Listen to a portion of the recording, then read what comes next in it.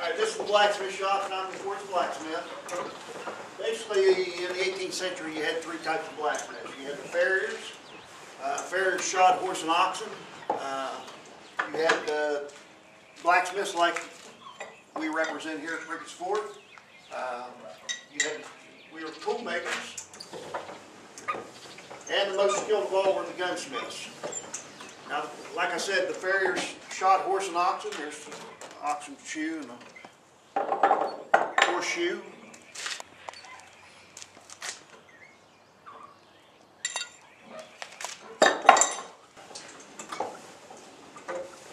The tool makers, a lot of things were considered tools in the 18th century. Anything from uh, a serving fork uh, to a piece of lighting, uh, shackles, anything like that were considered tools. Gunsmiths, who acquired all these skills, went on and became some of the uh, best gunsmiths in in America at the time. We use coal in the forge.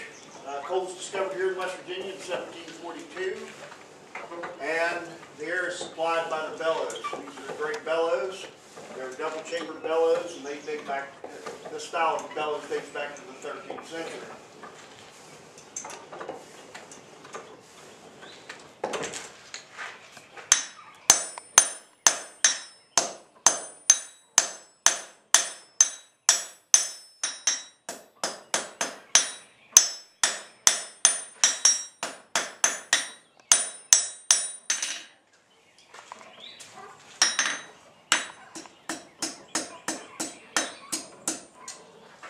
Blacksmiths would have been using what we call wrought iron.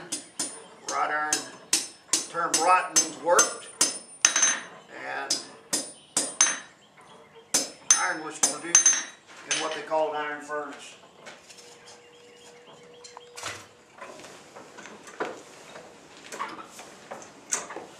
At the time of Prickett's Fort, the closest iron furnace to this area was near Winchester, Virginia.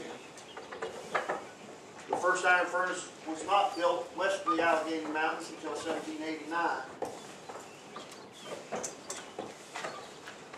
By 1789, iron would, have become more uh, readily, readily available.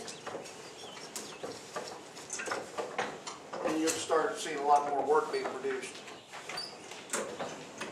Blacksmiths not only make their own tools, tools for everyone, the farmers, the women cooked over the fires, uh, guys went out and hunted, uh, made a lot of tools for the Revolutionary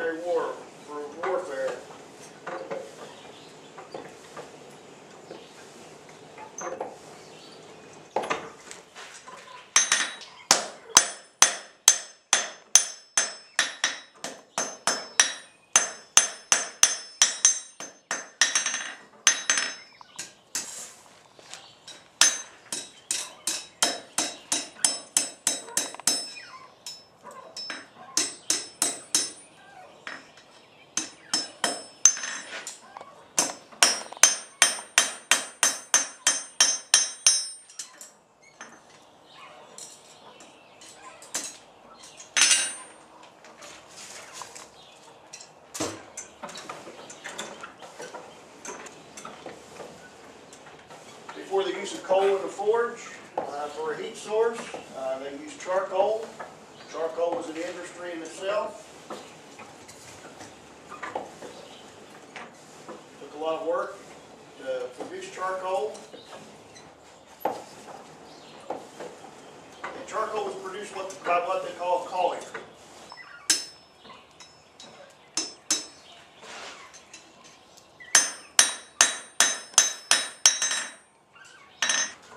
There's one simple tool. Called an S-hook. S-hooks were used to hang pots over a fire. Uh, They had other methods were more expensive, um, but S-hooks were the most common. Everybody had S-hooks or some type of hooks in their fireplace to, to be able to cook from.